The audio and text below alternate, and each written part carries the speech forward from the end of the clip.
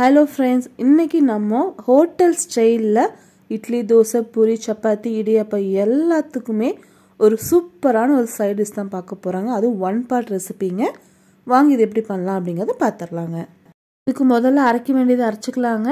இதுக்காக ஒரு மிக்சி ஜாரில் ஒரு முடி தேங்காய் ரெண்டு பட்டை நாலு கிராம்பு சேர்த்திருக்கிறேங்க அது கூட அரை பச்சை மிளகா கொஞ்சமாக பொட்டுக்கலை பொட்டுக்கலைக்கு பதிலாக நீங்கள் முந்திரி கூட சேர்த்துக்கலாம். ஒரு டீஸ்பூன் வந்து சீரகம் ஒரு டீஸ்பூன் சோம்பு. கசகசா இருந்ததுன்னா அதையும் சேர்த்துக்கோங்க. அரை ஸ்பூன் வந்து மிளகு சேர்த்துக்கோங்க. இது வந்து ரெண்டு மீடியம் சைஸ் தக்காளி கட் பண்ணி வச்சுருக்குறேங்க. அதில் வந்து ஒரு முக்கால் வாசி வந்து கட் பண்ணி இதில் சேர்த்துக்கலாங்க.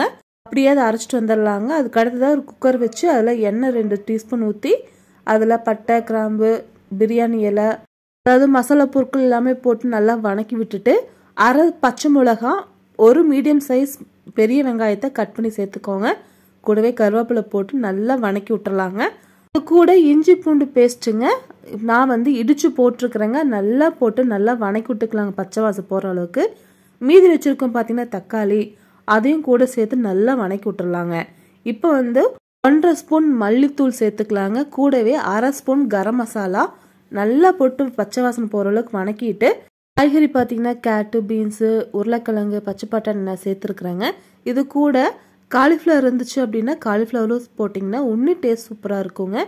கூடவே புதினா கொஞ்சம் சேர்த்துக்கோங்க. அதுக்கப்புறமா நம்ம அரைச்சி வச்சுருக்கக்கூடிய அந்த மசாலாவை சேர்த்துட்டு தேவையான அளவு தண்ணி அதாவது வந்து தண்ணி வந்து நிறைய ஊற்றணுங்க அப்போ தான் வந்து வெந்து வரும்போது நமக்கு கரெக்டான கன்சிஸ்டன்சியில் இருக்குங்க. அதுக்காக தான் தண்ணி நிறையா சேர்த்தணுங்க. இதுக்கு தேவையான அளவு உப்பு ஒரு ஸ்பூன் போட்டிருக்கிறேங்க. அதுக்கப்புறம் மல்லி இலை தூவிட்டு நல்லா த அதாவது கொதி வந்ததுக்கு அப்புறமா உப்பு காரம் பார்த்துட்டு நீங்கள் மூடி வச்சுருங்க.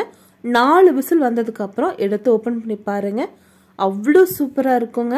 இது இட்லி தோசை சப்பாத்தி பூரி இடியாப்பம் எல்லாத்துக்குமே சூப்பராக இருக்குங்க. ட்ரை பண்ணி பாருங்க. ட்ரை பண்ணிவிட்டு உங்களோட ஃபீட்பேக் கொடுங்க. வீடியோ உங்களுக்கு பிடிச்சிருந்தா உங்கள் ஃப்ரெண்ட்ஸ் அண்ட் ஃபேமிலி கூட மறக்காமல் ஷேர் பண்ணிக்கோங்க. நம்ம சேனல் நிறைய பேர் சப்ஸ்கிரைப் பண்ணாமல் பார்த்துட்ருக்கீங்க. மறக்காமல் சப்ஸ்கிரைப் பண்ணிக்கோங்க.